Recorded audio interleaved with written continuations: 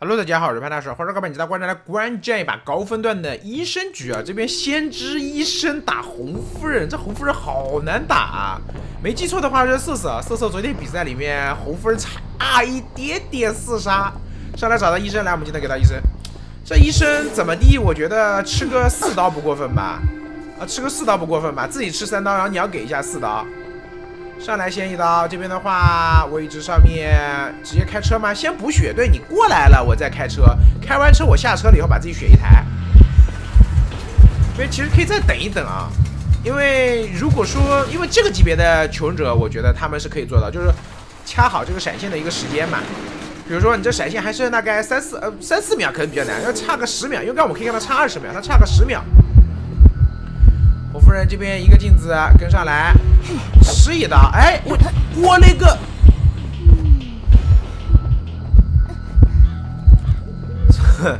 这这种操作，这不不敢想象啊！那怎么办呢？红夫人这把没了呀！这一把有一说一，我可以下判断，瑟瑟已经没了，这个红夫人不可能打了，怎么打？不可能赢了，我这样子哈，我稍微稍微退一点啊，这不能太自信，因为这个游戏呢。毕竟给过我太多的惊喜啊，所以说我们这边就还是收敛一点。我觉得这个局呢，监管者不可能赢了，就是四人开门战保平可能性还是有的，但是这把你想要去争一个多抓，应该是没有了。前提啊，前提是求者不要出现重大失误。呃，什么样的重大失误呢？比如说第二波救人，我们可以看到第二波救人可能，比如说先知来救、医生来救什么的。不要出现重大问题吧，意外吧，也不一定是失误啊。比如出现个震慑什么的，人没捞下来。哎呦，我还是稳呐。现在感觉年纪大了，对吧？经历过了各种惨痛的伤痕之后，现在说话真的是好稳。佣兵被通缉到了，这边的话一个护臂跳的漂亮，捞下来以后，这咒术师先知顶个鸟。哎哎哎，哇，这这这刚才那个位置其实可以直接救的。感觉这边佣兵等了一手，有点风险的，有点风险的。万一这个人过半的，万一你下去那他吃个震慑，这个震慑吃完以后是要过半的。看一下这边抬镜子 二挂，先知还有鸟还能救啊。这边的话机子是够的，机子是够的。这边先知。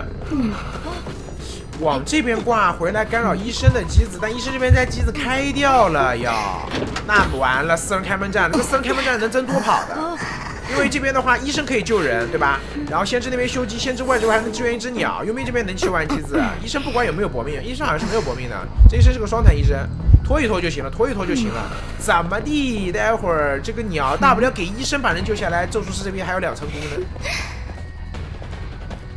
八十六的机子往前冲，哎，只有一个震慑，一个震慑的话，先知的机子可能还差，其实震慑了感觉。哎，对吧这医生在搏命的。哦，看错了，不对，他是双弹，他是双弹，他是双弹加搏命的医生。那我觉得瑟瑟这边可以针对这个医生打吗？双弹加搏命的医生。针对这个医生打，好像也不行了，局势太烈了，这个太烈了。主要前期这个医生，这医生牵制太好，这边还有个三层锅，就往侯夫人脸上冲。大家注意啊，这边就往侯夫人脸上冲，交一个三层锅，怎么地？这边有地窖啊？没办法，没办法，没办法，这个真没办法。这边找到医生，把医生给留了吧，留医生啊。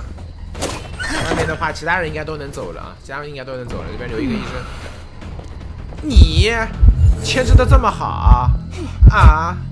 这套阵容确实打红夫人是一把好手啊，就相当于是一个心理学家配以先知的那种，就是很很硬很扎实的。红夫人前期开刀就很难开，然后再加上这把医生在刚才那个站台那边的一波神仙操作。本来那个地方嘛，怎么地吃一刀有闪现有镜子，我觉得这医生也也击倒了。而且这医生如如果说这医生被击倒，他是一个双弹加搏命啊，对吧？他双弹加搏命，他是没有大心脏的，说不定就对不对？感谢大家收看，我们下期见，拜拜。